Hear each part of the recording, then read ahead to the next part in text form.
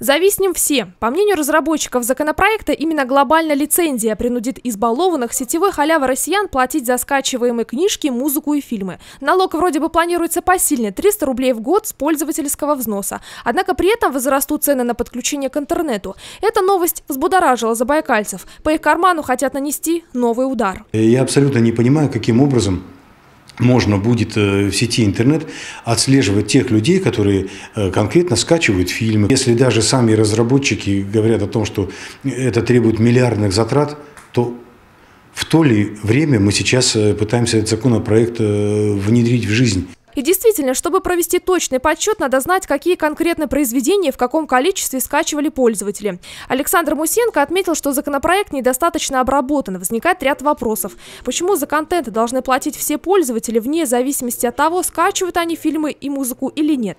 И, как, примеру, отличить абонента взрослого от школьника, ведь в законе есть графа – льготы для пенсионеров, учеников и студентов.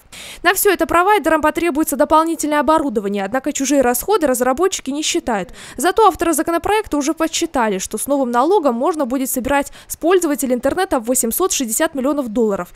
Какая часть этих денег дойдет именно до авторов, непонятно. Как он будет отслеживаться? Отслеживаться? Да в том-то и дело, что никак, технически это невозможно. Считается, что каждый пользователь интернета потребляет пиратский контент, и поэтому все должны платить. Мы соберем 800 миллионов долларов, и как-то правообладателям эти деньги раздадим.